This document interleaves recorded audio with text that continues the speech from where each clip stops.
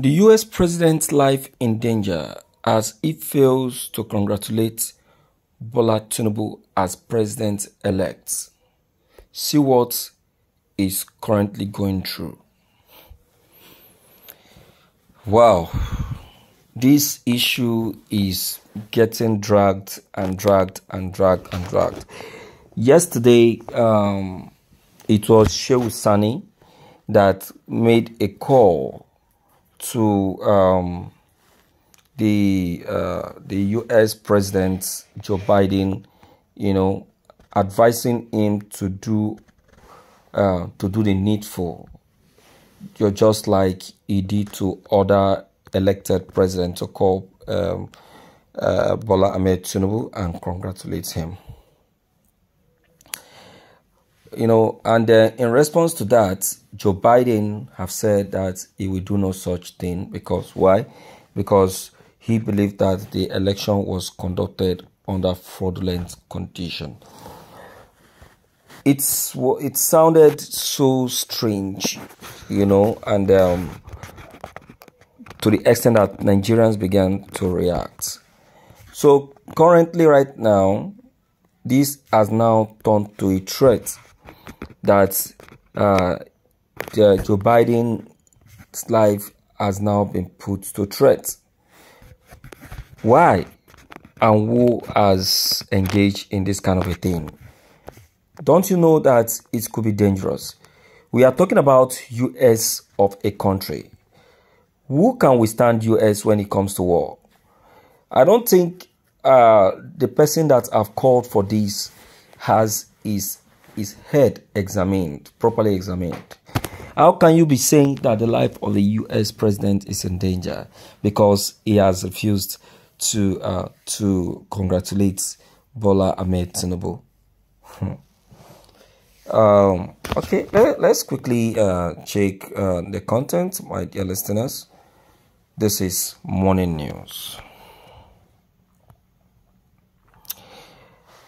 It happened yesterday as a former federal lawmaker representing Kaduna Central, Senator Shehu Sani, has revealed what the President of the United States of America, Joe Biden, should have done after he failed to congratulate the President-elect of the Federal Republic of Nigeria, Asiwaju Bola Ahmed Tinubu. He said that this could be dangerous and meaning that the US president is causing a very big harm to the partnership with Nigeria. Bola Ahmed Tinubu, a former governor of Lagos State and national leader of the All Progressive Congress, was announced as the winner of the recently conducted presidential election, which was held on the 25th of February 2023 across the 36 states of the Federation, including Federal Capital Territory. The former governor of Lagos State defeated other strong contenders, including Alhaji Atiku Abubakar of the People Democratic Party, Peter Obi of the Labour Party, and Rabiu Musa Kwankwaso of the New Nigerian People's Party. The former Vice President of Nigeria, Atiku Abubakar, and the former Governor of Anambra State, Peter Obi, have inaugurated their legal team to challenge the victory of the President-elect Asiwaju Bola Ahmed Tinubu. They claim that the results announced by the Independent National Electoral Commission INEC would manipulated to favor the presidential candidate of the All Progressive Congress. This has attracted attention of international bodies and communities as they say no to the congratulation of Bola Ahmed Tinubu. That's it. Um, my people, I want to say that um, this is happening because Tinubu permitted that. Yes, you see, if you watch Tinubu and his political history, you will see that there is no uh, there is no legit legitness.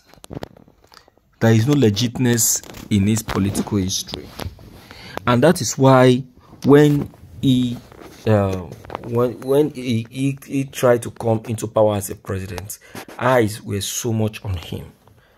If you listen to what um, if you listen to what uh, OBJ, the former president of Nigeria, said concerning Tinubu before the beginning of the election, you will know that OBJ knew Tinubu so well and is so ready to, you know, to follow him up. He knows that Tinubu will go extra mile to rig the election. And that is why he said that he is ready for Tinubu. He is ready to follow him up. He, he will show him that there is no way he is going to rig the election. You understand? And that is what attracted the statement of Obasanjo saying that he will make Tinubu to understand that when he was in politics, he was still in school. You understand? Yes, he was still out there pushing cocaine. So uh, I would say that this uh, this is a reality, and there is need for action to be taken. So it's not a thing that uh, we'll be saying that uh, a lie. You see, let a proper investigation be carried out. Look at the INEC chairman now. To me, the INEC chairman is confused. He's confused. He doesn't know where, where, where, to, where, where, what to do anymore because he knows that he know what he did. You know what he did. So to me, I think the INEC chairman should be arrested.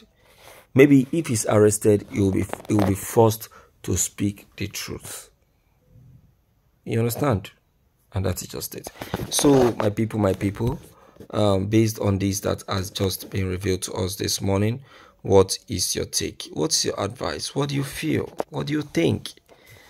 All right, don't forget to leave your comment below the comment section. Click on the subscription buttons as well as bell buttons to get updated each time we upload any new videos. Thank you.